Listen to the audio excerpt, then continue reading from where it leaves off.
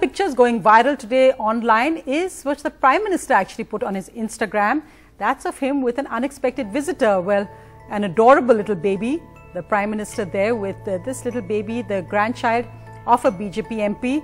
Interestingly, that's his only, well, online message today on a day the opposition has been asking for his response on what the US president said about him asking for mediation. India, of course, has denied that categorically. But meanwhile, these pictures are cute to look at.